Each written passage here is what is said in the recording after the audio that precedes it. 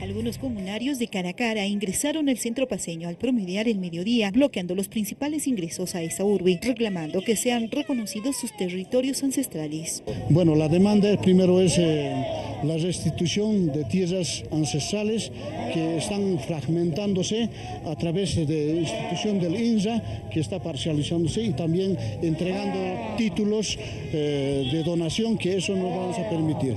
Por otro lado, el ministro de Gobierno, Carlos Romero, denunció que la marcha de la Nación Caracara es una marcha pequeña de 22 personas. Están 40 días sostenidas por las ONGs. Manifestó además que no recuerda que las movilizaciones indígenas genuinas hayan marchado con viáticos. ¿Quiénes están detrás de esta movilización? Esa ONG denominada Canapucara. Eh, y están apoyando a estos otros personajes que son eh, Bolivia, Birt Bolivia, la señora este, Ruth Alipas, Paula Gareca de Birt Bolivia y una fundación de nuestra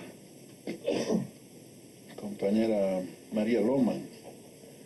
Finalmente, la autoridad de gobierno recordó que Rada Arteaga formó parte de un conflicto en noviembre de la gestión 2018, cuando una mujer de la tercera edad fue asesinada a golpes porque se negaba a entregar sus títulos a las autoridades comunales. Así también defendió otros hechos que ocurrió en la Isla del Sol, donde una ciudadana fue violada y asesinada a título de justicia originaria.